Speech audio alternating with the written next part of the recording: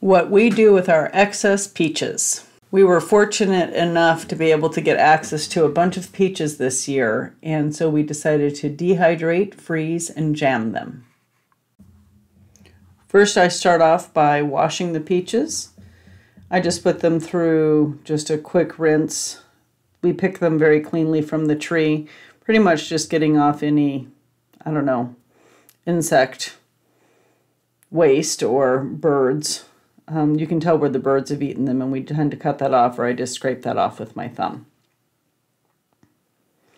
Once we're done washing them, I take the pit out.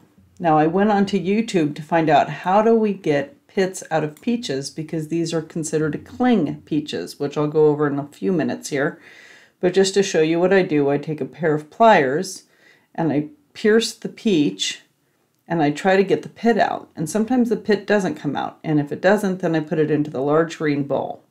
Otherwise, see how the pit comes out a little bit more cleanly on that one? I put it on the green tray. And anything that doesn't come out cleanly, you can see how the whole thing just kind of came out. I just put it right in the bowl. We'll use those for jamming because those I can take the skin off easily and uh, be able to take the mush the pit off, you know, between my hands or with a knife. I'm looking for only peaches right now that come out with a clean pit. The peach that you saw me put into the black bucket must have had some sort of mold or hair growth or some such thing like that, something that made it unsanitary, nothing that we actually wanted to um, eat or put part of our recipes, maybe too much bird damage for that second one that was put in there. So I just go along like this and um, you see I'm starting to feel around the peaches and I'm trying to feel as I get a feel for this process, feeling for ones that appear to be softer. Sometimes they're not soft and the pit comes out fine and sometimes they're really soft and the pit doesn't come out fine. So I don't actually know if there's a thing to that or not. So there's bird damage that I just shoved off and I just threw it right in the jamming bowl. But I'm just going through and feeling around and trying to find you know, something that's going to, and that one felt too hard, so I put it back. That one's got a lot of bird damage on it, but let's see what we can do. No, it's not going to come out easily, so I'm taking that off. This one really was eaten a lot, so now I'm going to use this as an opportunity to show you.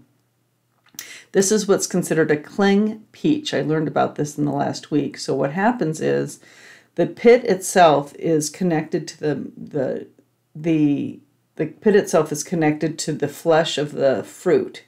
So here I'm going to show you a difference. I also have a bunch of apricots right now that have come in, and our apricots are um, freestone. So that means the pit comes right off. Literally, I opened up that apricot and the pit will fall out, whereas these peaches are the pit is physically connected to the uh, meat.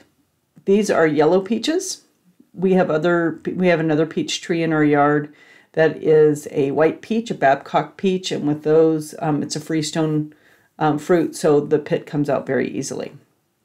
So now that I've done that prep work, my husband's now taking the green tray. Yes, the person changed. Taking the green tray and he's quartering the all of the peaches and he's removing any of the icky parts that he doesn't like because he's preparing them to dehydrate. So in all cases, we do the first part, which is where we clean and then we pit. And then from there, we can either dehydrate, freeze, or jam the peaches. Those are the three ways we use them. There's so many ways to use them, but for us, we found those to work the best for our throughput. So he's going through and he's quartering the peaches.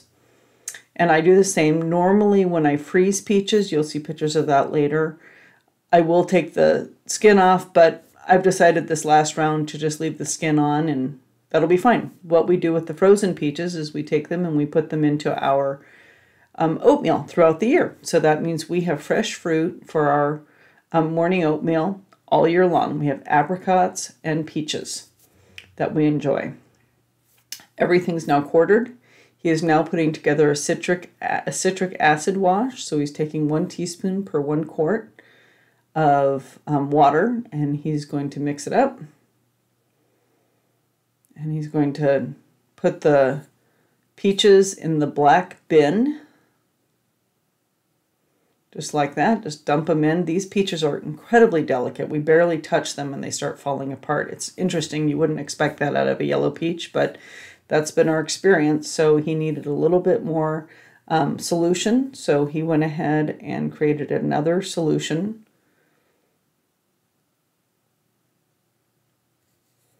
And I'm just going to go ahead and speed this up. Once the citric acid wash is in there, um, it sits there for 10 minutes. So after 10 minutes, um, we remove it, and that just keeps things from discoloring. It doesn't create any odd taste, it doesn't do anything.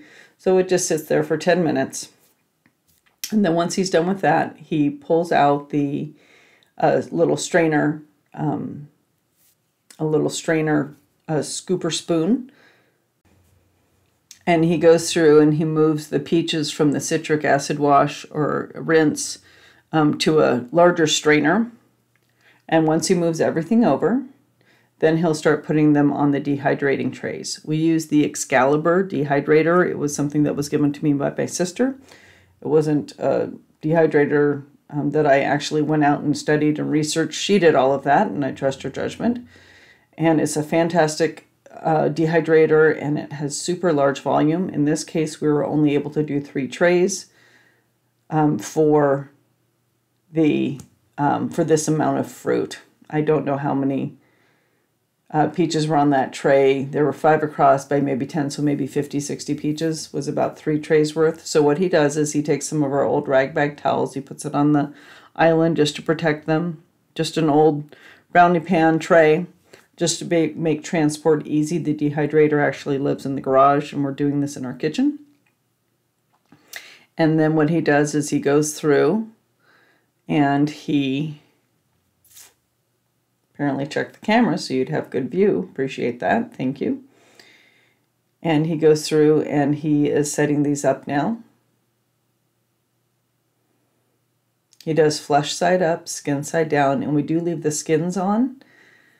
It just makes it easier to dry. It makes it less juicy. Less juice falls to the bottom of the dehydrator when we leave the skin on. It gives, you know, a little coating for the bottom, if you will. And he just continues on like this. He looks like he's doing about eight across. And we'll see probably about six down, so 48 slices per, 48 quarters per, so that's about 12 quarters per, or 12 peaches per tray, but we'll see what it actually ends up being. I thought I would speed this part up for you a bit just to show you. He ends up going through three full trays and you'll see the process of that as we as you watch this. Again, I tried to speed it up for you. The way we use the dehydrated fruit is we put it into a Ziploc bag so it can equalize moisture-wise. And then once it's done, um, we put it into a, a, you know, keep it in the same Ziploc bag and throw it into storage. And on the storage shelf that we have and throughout the year we enjoy you know a nut mix with uh, fresh peaches. Now bear in mind we do not add sugar to these peaches. We just add the citric wash. So that means these are really healthy with no added sugar. It's just the regular you know peach sugar that we have. Then we put it into the dehydrator for about 24 hours again we use these as part of our snack mixes throughout the year Moving on to how we freeze our peaches, I go through and take the same quartered peaches, put them on trays, put them into the freezer as a single layer. Once they're frozen, then I put them into a bag. What you're seeing here on the left is a double layer. I can actually do double layers on my middle freezer drawer, so I tend to do that as often as I can. The last thing we do is make jam. Isn't that the most beautiful jam? We did this last week. Just absolutely gorgeous. We love to do these for gifts and just for our own enjoyment. So that's what we do with our excess peaches that we dehydrate, freeze, and jam.